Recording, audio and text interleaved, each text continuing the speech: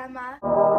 You probably think that you are better now, better now. You only say that cause I'm not around, not around. You know I never meant to let you down, let you down. What's up? Welcome back to my channel. Today I'm going to be doing a review on the dun, dun,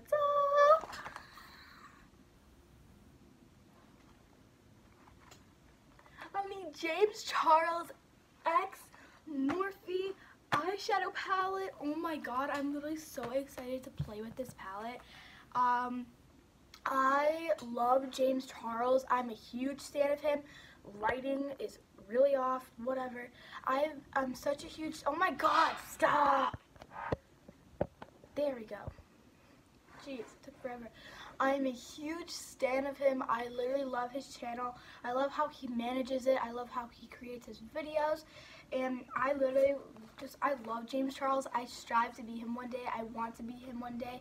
A 19 year old doing it, made it, succeeding at what I love to do, which is makeup. And the fact that he created this palette with one of his favorite brands is honestly so incredible to me.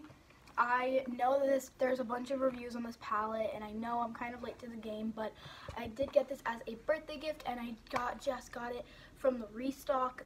Hey guys, so I'm editing this video, and I just wanted to say, quick side note, this video, when I filmed it, it was the Saturday after he released his restock of his palette in February, so yes, this video is very long overdue, and what does that say about me? That I am a terrible YouTuber. But, um yeah, so if I say some things that like don't make sense, you'd be like, oh, he, but he restocked it months ago. I'm just now editing this, editing this video now, and I'm a terrible YouTuber. I am so sorry for that.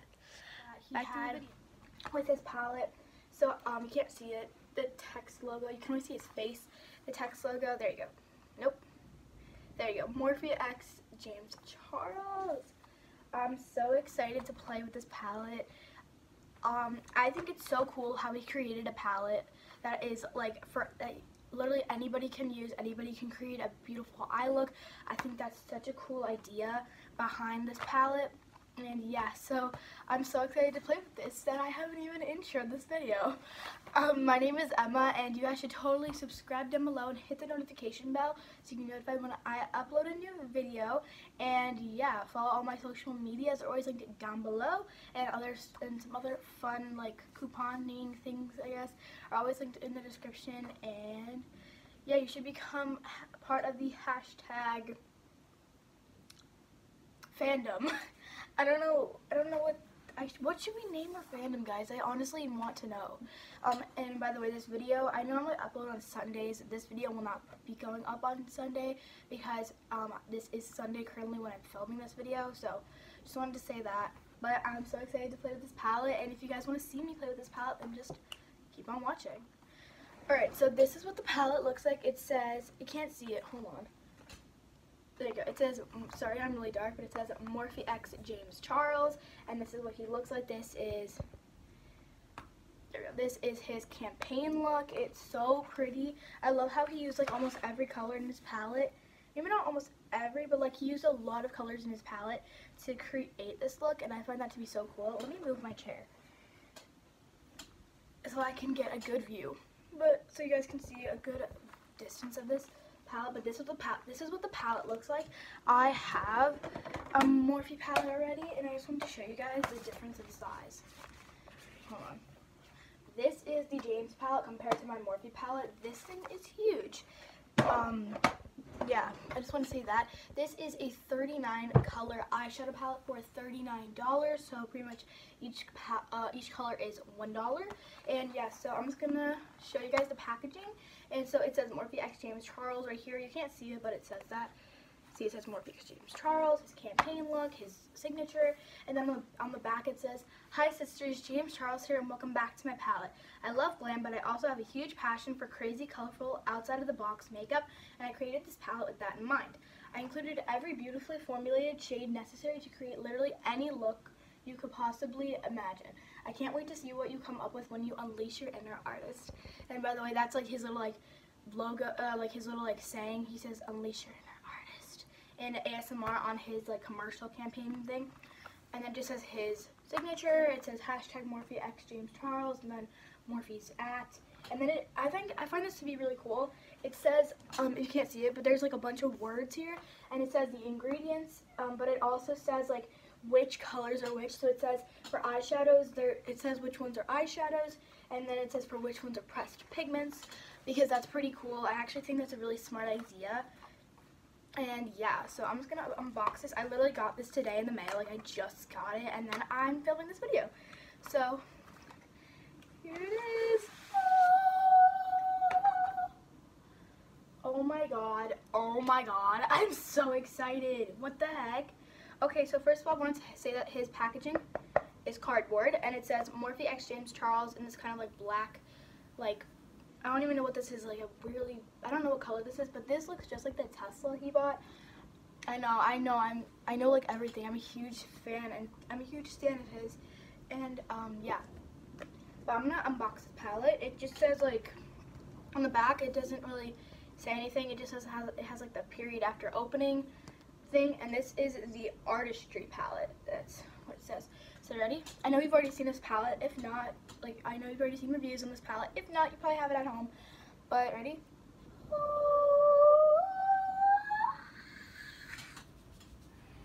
Ah, I'm literally so excited. So this is the paper that it like or the thing that comes with with all the names on it. And this is what the palette looks like. Oh my freaking god! I'm literally so excited. Oh my god, literally so gorgeous. Like, this is so pretty. What the heck? Thumbnail. No, wait, there, that's a bad thumbnail. Thumbnail. Okay, that was my thumbnail. Attempting skills. Now, I do have to say one thing. This kind of is inconvenient. I kind of wish that... Oh, kind of wish that the names were underneath the shades or on the back of the palette, but then I know it would be more expensive. But right here it says Unleash Your Inner Artist, which is like his little ASMR thing. Unleash Your Inner Artist. That probably sounded so bad, but whatever. We're going to play with this palette. I have not played with this palette yet, so I'm super excited to play with this palette. So I'm just think I want to do like a classic red, orange, yellow, green, blue, purple look. So like rainbow kind of. I think I want to do that. So I'm just going to kind of like do what I would normally do for like eyeshadow. Um, I'm not going to prep my eyes with like primer or anything because James said that the like a concealer, like a um, Tarte Shape Tape wouldn't be super good with this look because this like the pressed pigments or the formulations just don't work with that um, type of a, like eyeshadow primer, but he did use the MAC Paint Pot, and he did say that the P. Louise um, eyeshadow primer was a really good one too. So I'm to do that. We're to start with just like kind of like a flat shader brush. And we're to grab this color, the bright white, which is called Flashback, which is named after the iconic Flashback Mary meme or scandal that James has. Everybody loves and lives for that scandal. Okay, I do want to say picking a product, obviously, um, on the brush, obviously it's very pigmented. And then you put it on your eye and it kind of like goes away a little bit. Uh, James said that the shadows are meant to like, he wanted to create a palette that was kind of like, I, I'm trying to think of the name, where he, where it was like, you can build up the pigment on the brush. So like, it's not like crazy, like, oh my god, here's white. Now I need to blend it out for like a million years, you know? Um, so I do like that idea, but like, it kind of it kind of just like disappeared on my eye and I don't know if I like that idea, but that's okay. Oh my god, I keep staring at like his campaign look. Like honestly so pretty. I actually know how these shadows work. I have not played with this palette my personal self, like on my eyes. I did use my friend's palette, my friend's James Charles palette though. So um, I did like a cool, like, I actually tried to recreate his campaign look that he did. It literally took me an hour to just do one eye because it, it, had to be like perfectly blended and stuff. So yeah. But in the end, I think it looks pretty good. You guys should totally go follow my makeup Instagram if you guys want to see how the look turned out and just other fun little things. Um, because like any other fun little makeup looks, because I obviously will be using this palette to do other looks, obviously. And yeah, my makeup Instagram is makeup by Emma. And you guys should totally go follow it. It's always linked in the in the description. Bleh. You guys should always check the description box because there's like some fun things like my socials and whatever that could be linked in the description box. And yeah. But anyways, back to the video. I'm just gonna take color flashback. Oh, that's a different. That's definitely a more dense brush. And we're just gonna kind of go in. So we're gonna do, yeah, we're gonna do like a fun, I think, red, orange, yellow, green, blue, purple, I think, kind of look. Um, I'm really just gonna take my brush and clean it off quickly because it's kind of, I don't know. All right, we're gonna dip into the iconic red shade right here, which is called You're Kidding because, hello, you're kidding. It's like a beautiful red. And James said that he, anytime he try, oh, it's pigmented.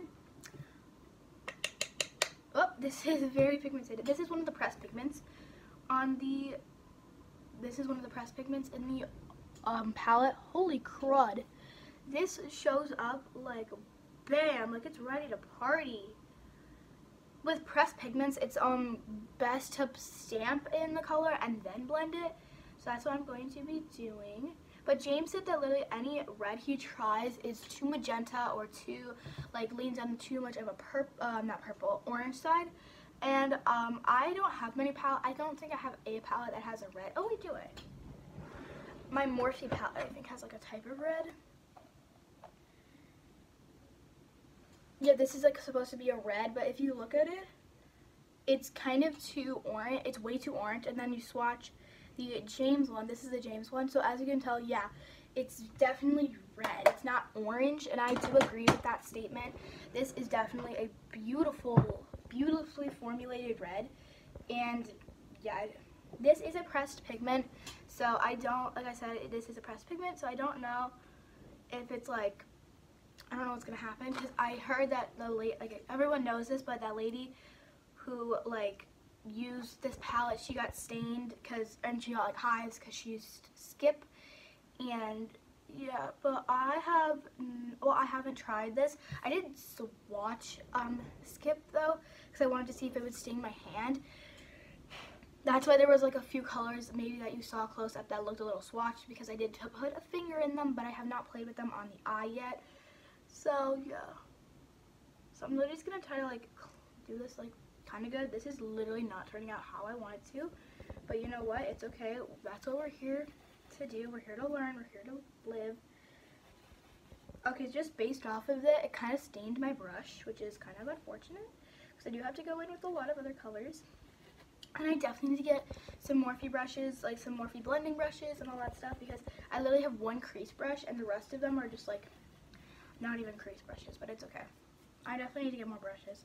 So now I'm going to dip into his bright orange shade in the palette, which is called 518.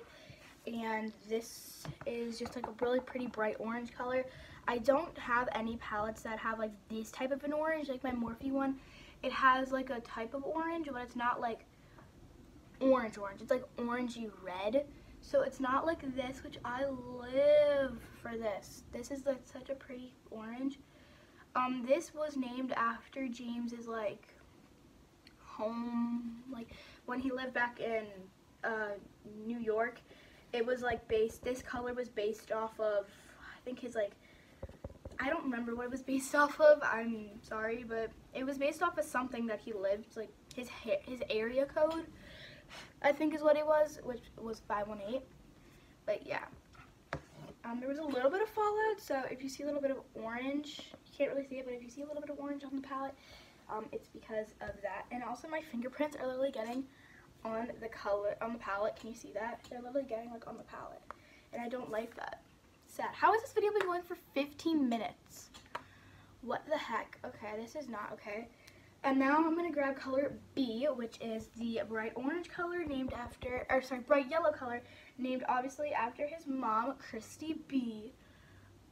Oh, this is very pigmented. Like, well, duh. I mean, like, all the other colors are pigmented too. But that's okay. Alright, so this actually looks pretty blended. It looks like it's just going, it looks like it's just a red going to a yellow. So I like that. I'm going to do is a um, green, um, green, blue, purple look on my eye. So I'm going to grab what's is called Social Blade, which is the bright green kind of color. I don't want to grab color Daddy, which is named after Laura, um, Laura, not Laura Lee, the other Laura, James' best friend Laura. Um, that's her husband. They call he called James calls him Daddy. Anyways, so I wanted to, I don't want to grab Daddy because that's like a little bit of a too dark of a color for this look. I'm just gonna take this, and it's definitely a lot like less pigmented than like the yellow was, or the orange, or even like the red, blue. And then for the blue, I'm gonna grab Playground, which is right here. This is like the bright kind of blue shade in the palette. This one, this color is kind of named after um, James, one of James's best friends, Anthony Gargiula, because they met on like a playground. And I'm gonna dip into Escape, which is the bright kind of purple in the color in the palette. This is named after how much James is, James loves escape rooms which I think is fun. I definitely know I love um, escape rooms. I was to say sister escape rooms, but no. By the way, sister is breaking out, and it's not fun. Also, he does have a color, palette color in his, or a color in his palette called Sister Noda, because literally his whole brand is named after sister. The difference between pressed pigments and eyeshadows is that pressed pigments are literally a pigment pressed into a pan, whereas eyeshadows are actually formulated. So like the, an eyeshadow literally is like, think of like chalk, sort of. Like you know how like chalk like kind of rubs off and then there's like a little bit of powder, like a little bit of excess powder. And pr imagine pressing that into a pan. That's literally what a pressed pigment is. Um, but that's not what this is. That's pretty much what a pressed pigment is. And then the eyeshadows are actually formulated differently. So Alright, so this is what the look looks like. It's kind of bad. Um, I am learning about a lot of this stuff, guys, so don't come for me. I know it kind of looks bad, but it's okay. I'm going to grab his, like, lighter, paler color called Canvas up here, and I'm going to use that to highlight the brow bone. I'm literally just going to use my finger because I think that would work better, but literally, it looks pretty. It looks really pretty. And I'm going to grab some concealer on my this is just a hard candy concealer, and I'm going to grab some on a little bit of like a packing kind of brush. Not really, it's not really a packing brush. And I'm going to use this to cut my crease. So I want to do a cute little cut crease look, but I don't think this is going to turn out well because I suck at cut creases. Cut creases, so we're just going to play around and see what happens. I'm going to wing it out a little bit. Oh god, that did not, oh no. Well, I'm gonna get back to you guys when this looks better.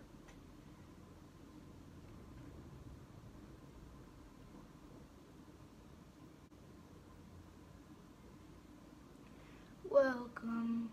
Oh. Okay, so I cut both of my creases. Yes, this looks literally terrible. Um, I know. You don't have to tell me. I know it looks terrible. But it's all in the effort, okay? Literally looks so bad. I'm not even kidding. I'm literally gonna cry. This looks horrid. It's like all in my lashes too. Oh my god. Trend. Literally like putting concealer on your lashes. I'm gonna clean this up a little bit because it's a little not super sister pointy. That's so bad. Alright, so I did cut my creases. They are very uneven, but that's okay because, guys, I am still learning. I'm a learning make. I'm not a makeup artist, obviously. Um, I'm still learning how to do makeup. Um, well, I know how to do makeup, but I'm still learning how to do, like, fun, creative things. So, don't come for me in the comments. I know this looks bad, but I'm trying my best. And, okay, so my cut creases are very uneven. I know this. It literally looks like I have little devil horns. You know? It looks like I have little devil horns that's okay. Okay, so I'm to do the lower lash line, meaning I'm to take You're Kidding. I'm just to do the, pretty much the same stuff that I did on my upper lash line on my lower lash line. Alright, so I just did the lower lash line, or yeah, the lower lash line, and now I'm thinking I want to do some shimmer on my eyes. See, I don't know what color to do, because there are, like, obviously sparkly green, there's sparkly green, there's sparkly blue, and sparkly purple, but there's not like a sparkly red or a sparkly orange, you know? So like I don't know what to do. I don't want to go too overwhelming. Oh, I'm going to take, I'm going to actually take a little thin little brush. We're going to go with mm, this one. This is just a little pointy brush.